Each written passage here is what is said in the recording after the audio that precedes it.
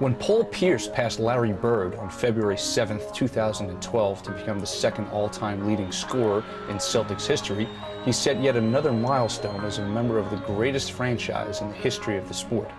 What Larry Bird meant to the city of Boston and the history of basketball is best measured by the influence he had on the game as well as the lasting memories he left on the court.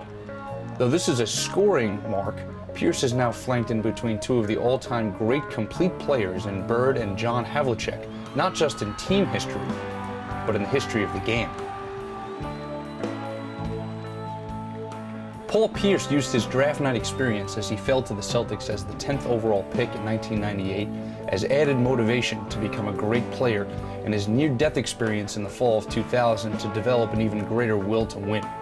But it took time it took tasting some team success in 2002 and 2003 prior to the team hitting rock bottom five years later before it all came together again for Pierce and for the Celtics.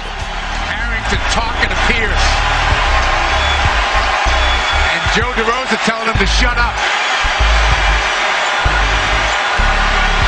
Pierce buries it.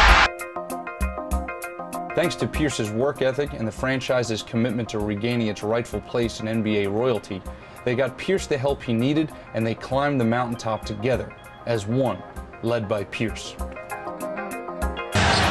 Pierce, final seconds. Pierce puts it up for the win. Knocks it down.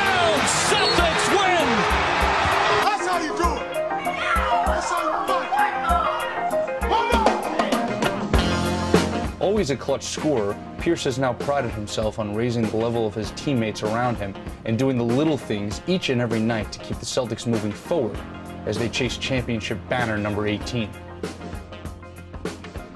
Paul Pierce quietly and steadily has bridged generations of Celtics fans as both he and his teammates realize the great responsibility it is to carry on the tradition of being a Celtic, which was born decades earlier. Thank you, Paul Pierce, for everything you have given the Celtics and the game of basketball. And please, feel free to keep reaching milestones as your number 34 will someday hang in its rightful place above the parquet floor.